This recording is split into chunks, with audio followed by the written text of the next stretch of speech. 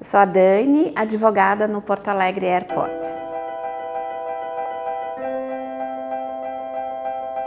É, nasci em São Paulo, capital, no Hospital São Paulo.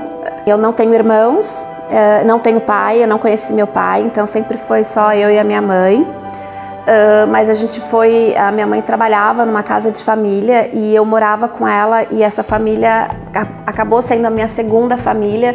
Então eu tive a grande oportunidade de ser criada num, num, num lar muito grande. Tenho um filho de 11 anos, né, sou separada. Tenho mais dois filhos de quatro patas, né? Tenho um cachorro que chama Max e uma gata que se chama Frajola, que na Fraport todo mundo conhece. Costumo dizer que a minha atribuição mesmo dentro do jurídico, ela é para ajudar as, as, áreas todas, tanto comercial quanto não comercial, que são as outras áreas de negócio, a formalizar as relações uh, comerciais com fornecedores ou com clientes. Uma outra função também que eu tenho, que eu uh, assumi desde o início, é a questão do programa de privacidade, que é uh, o, a, ajudar a empresa a implementar todos os processos, enfim, todas as providências para estar tá de acordo com a nova legislação de proteção de dados pessoais. Eu também realizo treinamentos, né, para a gente poder ter uma parceria é, realmente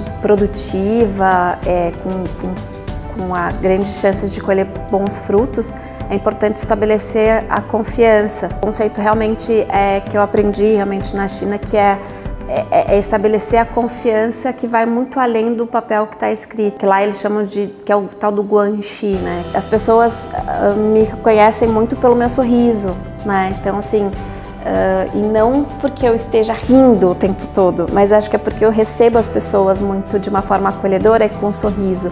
E isso sempre foi muito característico. Eu me sinto uma pessoa que realmente faz acontecer.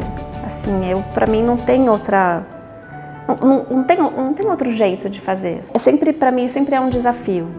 Porque eu sempre quero fazer, mas não de um jeito passando por cima dos outros. Pelo contrário, eu quero fazer envolvendo as pessoas, né? trazendo as pessoas.